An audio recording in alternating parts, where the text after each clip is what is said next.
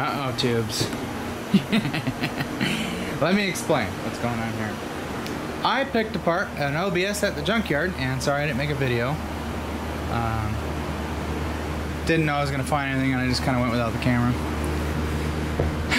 yep. Headliner. Well, new to me anyways. This is from a 93. And I'm going to try and make that work. I'll show you what I'm doing here. I took the most of the interior. Well, maybe like a quarter of it. But I got these visors here. It's got mint stickers on it. And it's got the clicky do, so I keep them from flapping around. Right now mine flap around.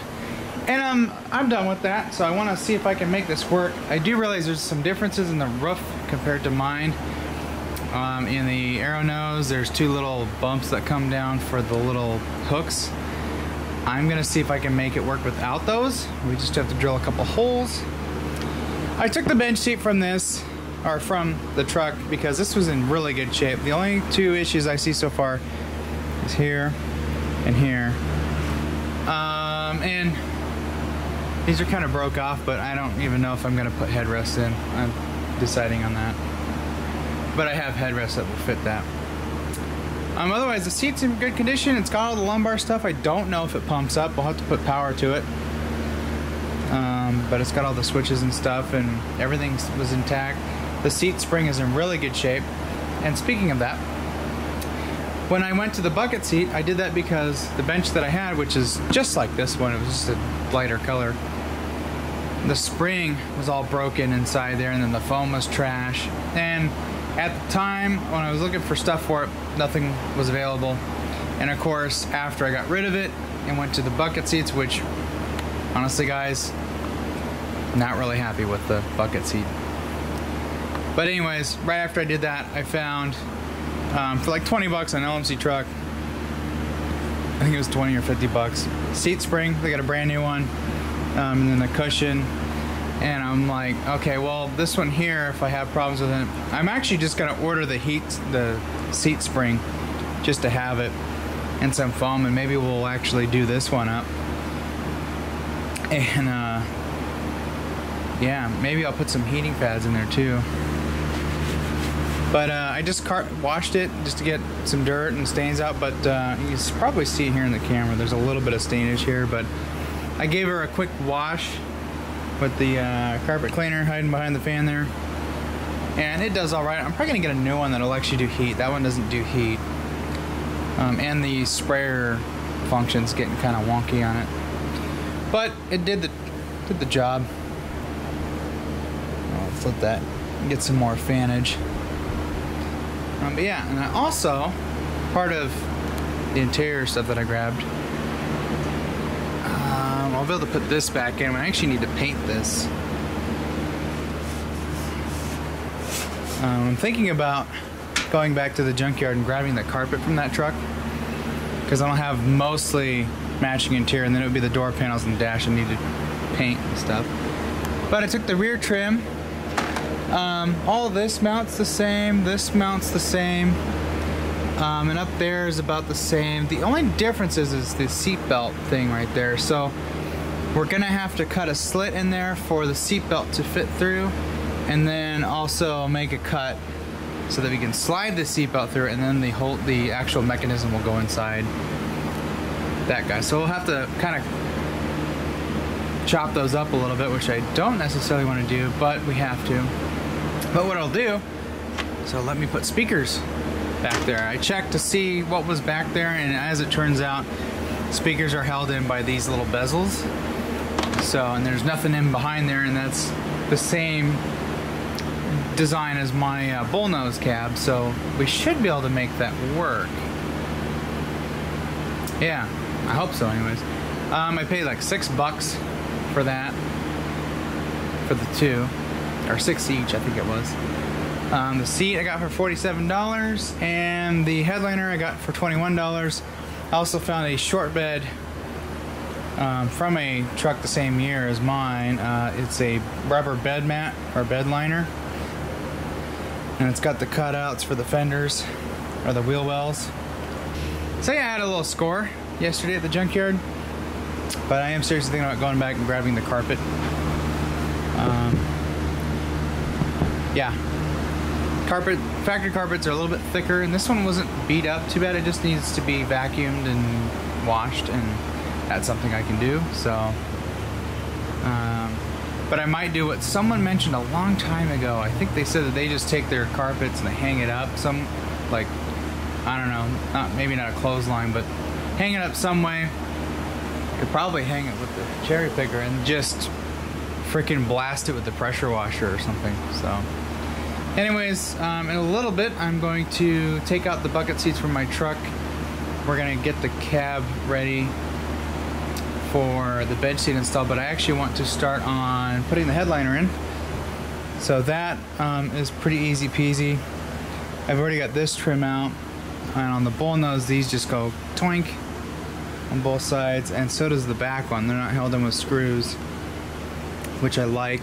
And then I got to take the light out. Oh, and I did get a different, a different light. The one I have in there, it's just not really working. Right, what did I do with that light? The dome light. Oh, there it is. Back there. I got one of those, which is what it's supposed to have. So I'm going to be putting that back in. Yeah, so trying to make my interior a little bit better, trying to make it, make it match.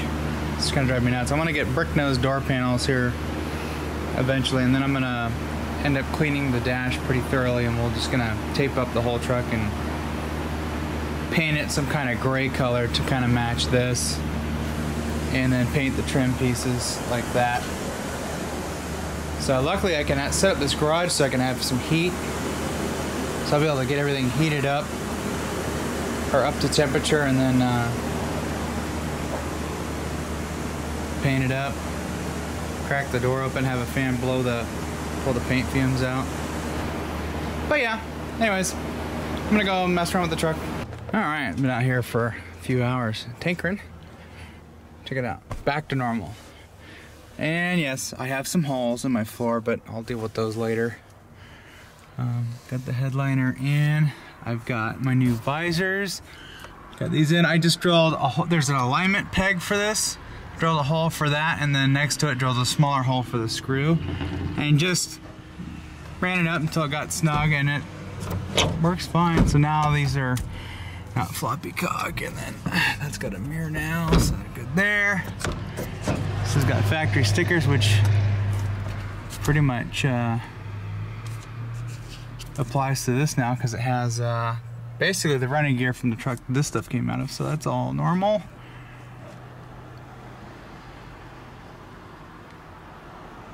I need to clean the schmoo off that, but yeah. So that's that. I need to get a lens for that, but this is all working. Normal. Yeah. I did try the trim pieces. Um, I'll have to cut a square out here and then put some trim around it just to kind of clean it up and then a little slit for the seatbelt to go through. But everything else looks like it's going to work just fine. Um, that side over here, in this area, there. Um, I had to do the same thing I did over here where I just cleaned out the track, got the got it to dry up, and then painted it with some rust, rusty metal primer. Um, so hopefully that stops. There is still some like moisture over there under the carpet, so um, I'm probably gonna go nab that carpet for or from the truck that had this stuff here, and we'll take this carpet out and um, we'll dry this up with the torch. Just get the moisture down. I'm probably gonna come in and coat this with some kind of metal primer. Just clean it up just to prolong it. And then um, put that carpet in. And then it'll somewhat match in here. And I'll have to do the trim and stuff and other things. But yeah. The problem I have with those bucket seats is being that they were from the Explorer they reeked of mold so now my truck doesn't smell like mold anymore. There's my hood mat. Washed it all down. You know, it's not perfect. I was gonna buy a brand new one. Can you believe that? Yep. Fits this truck just fine. I might make something to maybe latch it down, but it's pretty heavy. It's not gonna go anywhere. I can slide around. Okay, it's the next day. I went back to the junkyard and took the carpet uh, from the truck. I got my bench seat, interior trim, and whatnot from. So yeah, it needs uh, to be cleaned up. I'm gonna try and do I'm gonna do whatever I can to get it clean. I think what I'm gonna do is actually move my truck forward a little bit and just lay the carpet here and then just work on it that way. And I might clear off my table again and just lay it there and then heat the garage up and then that way this thing can dry out. But I think I'm gonna hit it with the garden hose and wash it that way first and then um, uh, yeah, but I'm also gonna hooking my garden hose up to my hot water tap in the garage for the laundry. I'm not doing any laundry right now, so maybe use the hot water and just to break up the dirt. and that might help. And then we'll get the, well, first we're gonna vacuum it pretty thoroughly. And then maybe I'll hit it with some spot treatment or simple green or something and then um, hit it with the hot water. We'll see how that works. Uh, but anyways, I was at the yard, I snooped around some other cars. Found another K&N air filter for a Lincoln Town car. This one looks like it was just put in. Maybe ran for a few miles. And then the car was junked. So I already have one in my car now. But I have another one.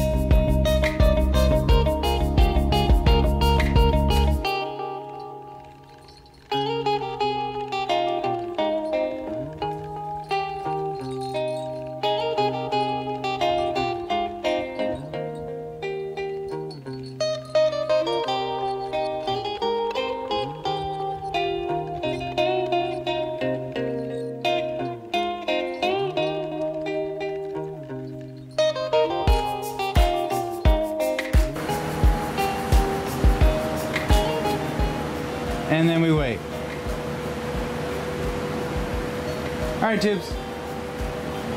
That'll be it for today. Later, we will tear my interior apart again, pull the seat out, pull the carpet out, and I have some sound deadening stuff that really doesn't do anything. I'm going to be pulling that out.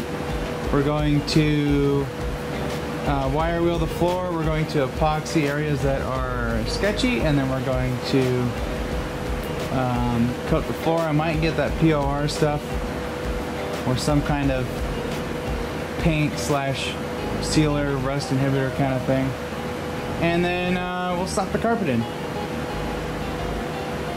Also, check out the links down below. We got our Patreon, which I've finally fixed up. That's set up and ready to go. So check out that. Uh, be a supporter if you want to or not. It's up to you. But if you do, It is much appreciated and it'll go towards the channel. Also check out our other links as well. Plus we have our email that you can uh, get onto. And Mr. Adams suited up for nothing now. Fucker, we got other shit to do like this engine. Piss off. Oh yeah, and then I got all that shit in the way. Seriously. Wait, you don't believe the door dropping, Jerry? We're gonna suffocate in here. No. Yeah. well, if you leave that door there open, then the heat from there will come in here. I'm not alcoholed up at all. I just can't yeah, walk. I might make a drink. Uh, hopefully this carpet won't take too long. I'll probably have to flip it. It's just damp like the seat yesterday, so. Well, it's like I couldn't find the suit I wanted, and I finally found all this shit. I'm like, nah, it's still not enough. That would have been your Michelin Man suit, Jerry. Uh, no, that's overkill right now. but yeah, we can get that desperate. Oh, yeah, don't get too close. I was starting to smell some eggs frying there. My balls. You're like, my balls are on fire. Gross. Actually, it's kind of toasty right here now. Yeah, I bet. Kind of step back in five minutes. Anyways, tips, check out Patreon, the other links, and I can't move because the camera's fully extended out. Ah, oh, God, Tibbs. Oh, no. All right, Tibbs, you're to have to excuse the dryer in the background. Just doing a little bit of laundry. Um, don't want to stop it because uh, there may be a chance I'll forget about partially dried clothes in my dryer. In the end of this video, and I originally did was getting ready to post it for you guys to watch, but I realized I messed up. And there's this raffle that I promised you that I was going to do for you guys. Here I am, doing that raffle.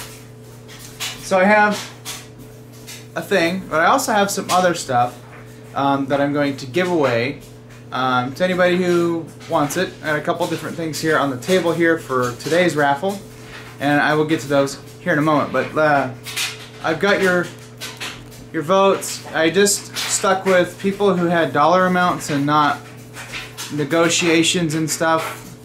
Um, you know, thank you for commenting, but dollar numbers is what we're going for. Um, so let's uh, let's get the old hat here and just before I pull a name, let me show you how much I paid for that cargo mat or bed liner, rubber rubber bed mat uh, for my truck, and I'll throw a picture of it right now. So, the junkyard I went to ran it as a, a floor mat. Yeah, floor mat. $1.59. Not six nine. Dollar fifty nine. Because you know, I look at this bench sheet. That was forty seven. Headliner twenty one. Molding per foot, which you still have to put in the forty nine. Another piece of molding, six forty nine. And then dome light assembly, twelve forty nine. And then floor mat, dollar fifty nine. So, dollar fifty nine. Okay, so this is how I'm going to do this. I'm going to shuffle this hat, and then if I pick one at random that happens to be closest to what I paid for it, that is the winner. We're going to keep it real simple. If I pick one that's too high, I'm going to set you aside and maybe we'll have something for you some other time. But right now, we're going for closest to what I paid. Okay, so we're gonna shake this up a little bit and then just shuffle out some more. I, I can't see who's in there. No smoke and mirrors and stuff and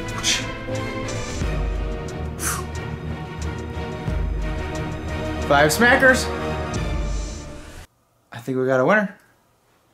We got a winner for $50 Visa gift card. So if you want your $50 Visa gift card, contact us down below through our email and we'll send this out to you. Randy Laymance, done one $50 gift card. For our other peeps who have town cars, Mercury, Grand Marquis, and Crown Victorias and stuff, if you need some shock absorbers, guess what? I've got the rear shocks and front shocks. These are all in really good condition. They all work pretty well. This one still pretty pretty good. I've probably got maybe yeah, that's pretty stiff still. I think I've got a couple thousand miles on these. I've got Bilsteins in my car now. Uh, don't need them. These front ones have about, gotta pry them. They've been sitting on my shelf for a while. They're still working. These got about Probably 18,000 miles. But anyways, they're good for a long time because factory shocks were, were still good and they were 180 or 170 some thousand miles.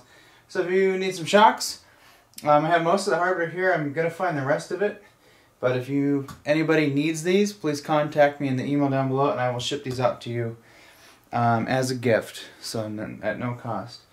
Also, I have this dome light. This is from like a Ford Mustang, but these are also used in the OBS uh, crew cab trucks. Um, this has got a brand new lens on it and everything. Um, it might have a couple of minor scratches on it probably come off, but this was a new lens that I bought for this. All the bulbs are still good in it. Um, they're original, but they worked great. Um, so also, if you needed this, please let me know. I will send it to you. So anyways, if I don't hear from Randy, uh, we'll draw again and pick another winner. Anyways, that's a loaded $50 Visa gift card. You can use it anywhere. You can get gas with it. You can buy random stuff on Amazon with it. Whatever you want to get. In coming weeks, I gotta wait till my next four day work weekend, but we'll be putting this carpet in. But first, we're going to be tearing the interior back out of the truck, get the old carpet and whatever shenanigans I had going on, and I'm going to grind the floor down, clean it up, and we're going to um, uh, I, ideally, I would like to cut out some parts of the floor and weld in new pieces, but I don't have the right welder for that or the right metalworking tools. So what I'm going to do is I'm just going to uh, clean it up. We're going to rusty metal primer and probably do some POR and then maybe hit um, certain areas with Flex Seal to kind of seal up cavities and stuff that are in the floor. I think that's what I'm going to do. And... Um, I've got that pretty well set in my head. That's what I'm going to do for the cab.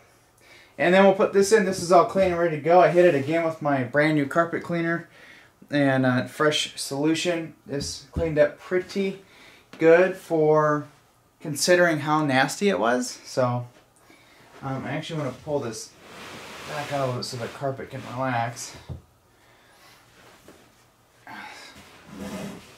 Get that crease out of there. Yeah. So, I mean, there's a couple of spots in the carpet that are kind of there, but I'm sure I could probably hit it with an, uh, I could probably hit it again with the carpet cleaner.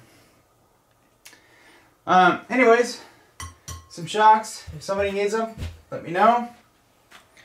Working dome light. The only thing that I is messed up with it, I trimmed this piece here um, to get it to fit in my cab, but I believe this is just a locating pin.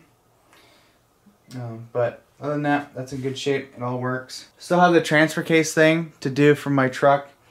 Um, it's on the warming plate right now because I have to order a rebuild kit for that. I also still have to finish tearing that apart.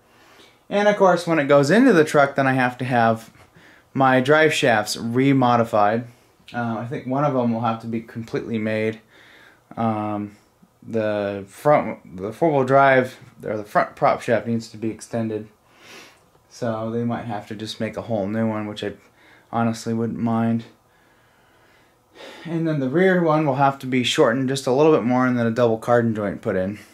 So yeah, that's the end of this video. And we will catch you guys later. See you next time.